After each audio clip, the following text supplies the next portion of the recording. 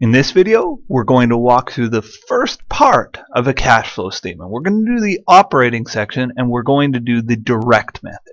If you're looking for the indirect method, that's in the next video and the investing and financing uh, sections will be in the, the, subsequent video to that. If you're looking for a bit of theory on uh, cash flow statements, just go back to the previous video to this one. I did, uh, you know, a 10 minute spiel on just the idea of what a cash flow statement is. Um, but let's go ahead and work through this problem together. The problem's posted as always right below the video, just the first little link there. You can download a copy of the problem. I'm also going to use a template when I solve the problem. The template is also linked below. So if you just kind of click on the links below, you can get all the information that I've got uh, and you can have that. So the question says, Turner Inc. has the following balance sheet and income statement information as at December 31st, 2012, and I guess for the year then ended. Um, and there's the comparative balance sheet. And below is the income statement. And I always liked uh, I like this format for a question. I know if you're you're working on your accounting homework or you're working in a class, uh, your questions might look different from this. And in fact, this question makes some assumptions that might be different from from your class. But this is a nice basic uh, problem on solving a cash flow statement. Again, it's not perfect. It's certainly not one size fits all. There's no such thing, but it, it, it does the trick for a basic introductory cash flow statement. Uh, so anyway, we see the company has cash, accounts receivable, inventory, equipment, accounts payable, dividends payable, income taxes payable, common shares, and retained earnings. So nothing too crazy there. They got some weird liabilities. Dividends payable, I know, is going to be a bit of a pain, but other than that, I, don't think there's anything uh, for us to worry about. Uh, moving on to the income statement, sales, cost of goods sold, gross profit, some expenses. They they sold equipment. That's important for us to know. This is a cash flow statement, of course. So if they sold equipment, they probably had some cash flowing in, uh, and they paid income taxes. And there's their net income of ten thousand bucks. Uh, additional information. Equipment was purchased for $6,000 cash. Well, that's a very magic word indeed when you're doing a cash flow statement. It's one you'll want to remember. Equipment with original cost of $4,000 and accumulated amortization of 500 was sold. So we, we sold some equipment. Doesn't tell us for how much though, so we're going to have to do a bit of work there. The company declared dividends during the year, so they, they had some dividends. Not surprising, they had dividends payable. Uh, other operating expenses are cash expenses, so these 25,000 that's got to be for cash. Uh, the company's sales are credit sales, and the company's inventory purchases are all on account. Okay, uh, we've got all we need. It says first we're going to prepare the cash flow statement using the direct method and next we'll do the cash flow statement using the indirect method. So if you want to download, I have a little template that'll help us to solve this problem. Now, again, I don't think you'd get a template necessarily in your class, and again, I want to caution you, this isn't a one-size-fits-all template, but it, will serve the purpose for getting us through this problem. Um, so the first thing I want to note about the template, and it's just an Excel file that we can fill in here, is this actually looks nothing like a real cash flow statement. And the issue is I've put the direct and indirect together on a page. Companies are going to choose to do one or the other. They're not going to do both at the same time. Now in my class I get my students to always do both just because I want them to be familiar with both methods. But uh, in reality, a company is just going to do one or the other. And most public companies have used indirect. A lot of private companies I've worked with have used direct. And as I said in the previous video, GAAP and IFRS seem to prefer direct, and, and I prefer direct as well. Um, but let's get started with this, and, we're going to start by just filling out the company's name and the title. Uh, so it's Turner Inc. So Turn, uh, Turner Inc we're doing a statement of cash flow, and statement of cash flows get dated for the year ended, not as at like a balance sheet, but for the year ended, like an income statement, or for the period ended. Uh, and it's December 31st, and it'll be 2012.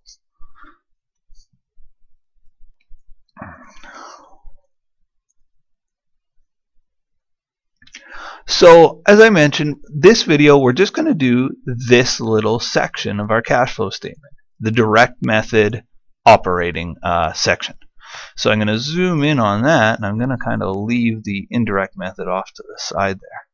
So cash flows from operating activities, the first thing we're looking for is cash collections from customers. And what I encourage my students to do and what I'd encourage you to do is to look at the financial statements and say what accounts are involved in getting cash out of my customers. My students are always good at this one. They always get it. The two main accounts involved in getting cash out of my customers are sales on the income statement and accounts receivable on the balance sheet. Those are the two main accounts involved in collecting cash from your customers. So I'm going to give you a formula now. And again, this isn't one size fits all. It works for this problem. It doesn't work for every single cash flow statement you're going to look at. But the formula I would use for cash collections from customers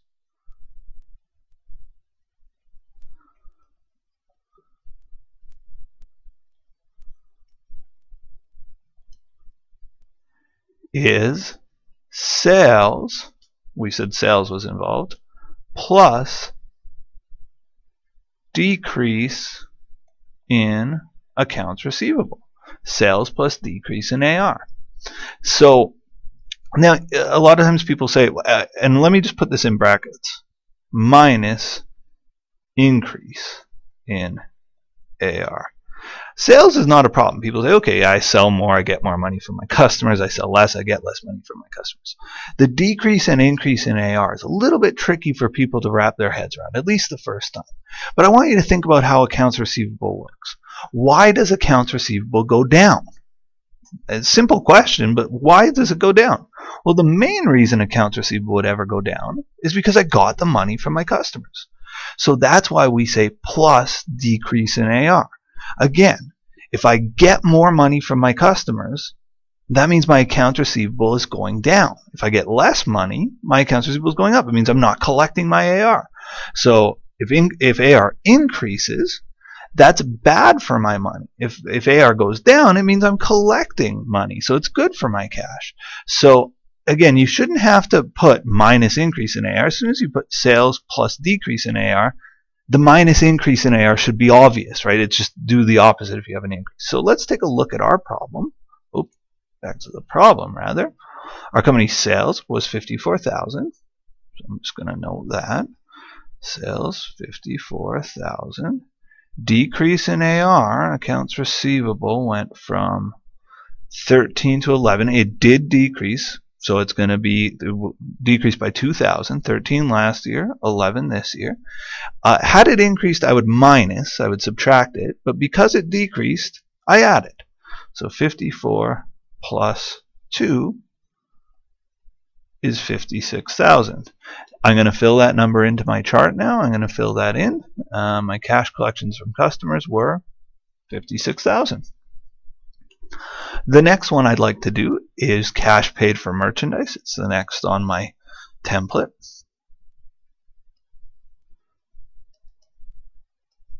Oh, for merch. And this formula, again, I'd ask you to look up at your financial statements and say, which accounts are likely to be involved in uh, paying for merchandise? And every single class I've ever taught, without fail, the hands shoot up, and students always tell me inventory, and they're absolutely right. You know, inventory is is merchandise, and that is involved. I'm going to leave a little room, and I'm going to say, okay, inventory is going to be involved here.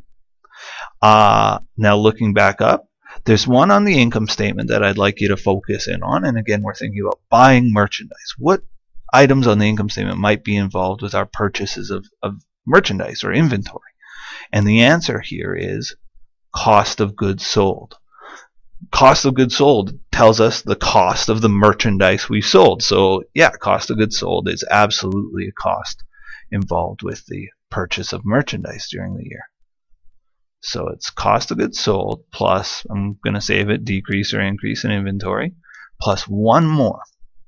And the hint here is that point F in the additional information, it says the company's inventory purchases are all on account. So obviously the cash paid for merchandise has to run through accounts payable if, if we buy all of our inventory on account.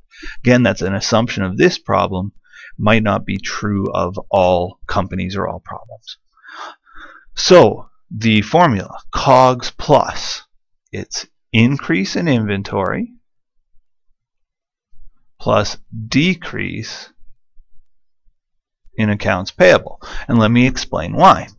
The reason it's increase in inventory is, again, remember what we're tracking here. This is a cash paid. If inventory is going up, I got to buy it. I got to pay more, right? If inventory goes down, I, I, don't buy it. I don't have that money locked up in inventory. Uh, same with AP. If AP goes up, that means I'm not paying my bills. I'm keeping the money. If AP goes down, it means I'm paying more. I'm paying off my bills, right? If the liability goes down, it means you're paying off the bill. So that's the reason for the formula to work this way. Again, you can just remember the formula, I guess, if, if your class makes the same assumptions as mine does. Um, but let's look at our COGS, 13,500. Plus increase in inventory. Well, inventory, what did it do? Inventory went from 16 to 2,000. It did go up by 400, so I'll plus 400 plus decrease in accounts payable. What did accounts payable do? Accounts payable, oh, it didn't go down, it went up. It went from 4,000 to 5,800. It went up by 1,800. So because it increased, that actually is going to be a negative here. So let me cross that out. It's a minus 1,800. So 3,500 plus 400, or 13,500 plus 400 is 13,900 minus 1,800 is 12,100. So I'm going to fill that into my chart. My cash paid for merchandise was $12,100. Now, I fill this into my chart as a negative number. And the reason I do that is whenever I read cash paid, right there, cash paid, I see that as a cash outflow. Cash inflows will be positive numbers on this uh, this financial statement. Cash outflows will be shown in brackets as a negative number. Okay, the next one down, cash paid for operating expenses. Again, I look up to the question, I look for operating expenses. I see other operating expenses and amortization. The total operating expenses is 27 grand. Now, if you've done one of these before, you'll know amortization is not a cash expense. If you think about all the operating expenses of a company, you know, paying salaries. Yes, I pay my employees cash. When I pay to keep the lights on, the utilities bill, I pay cash to the uh, company. I mean, I might write them a check, I might pay on the internet or whatever, but it's it's cash that's changing hands. It's money changing hands. Amortization is one of the few expenses that never involves cash. If my car deteriorates in value and depreciates in value for a year, uh, and I, I have $1,000 of amortization on my car, I don't run out to my car and tape $1,000 of cash to the side of it saying, oh, this is a cash expense. No, I just go debit amortization expense, credit accumulated amortization. Cash is not involved with the amortization expense. So when I think about my expenses and my cash paid for expenses, I always exclude amortization. Now there is a note about this. It says other operating expenses are cash expenses. So not amortization, but other, these 25,000 are our cash expenses. So I'm going to fill that in. I spent 25,000 on operating expenses. Cash paid for interest. I'm looking now for interest expense or for interest payable. I don't see interest expense. I don't see interest payable. So this one I'm going to leave blank. And if I were doing this on my own, I actually wouldn't even have this line in it, right? Because if it's a zero, then there's no point. Cash paid for income taxes is our next one. Uh, I saw income taxes. We have income tax expense of 2500 and I thought I saw an income taxes payable. Yeah, it was 1200 last year and 1000 this year. So let me fill in a formula for that. Oh, there we are. So cash paid for income taxes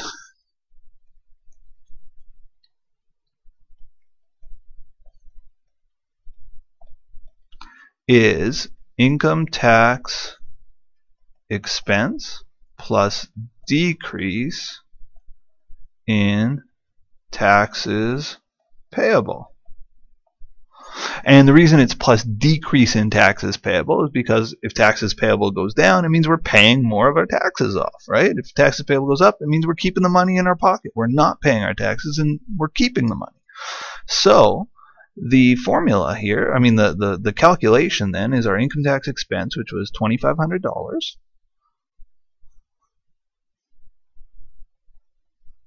plus decrease in taxes payable and our taxes payable went from 1200 to 1000 went down by 200 so I'm going to add that amount plus uh, sorry my writing's bad plus 200 So 2500 plus 200 is 2700 and that's our cash paid for income taxes.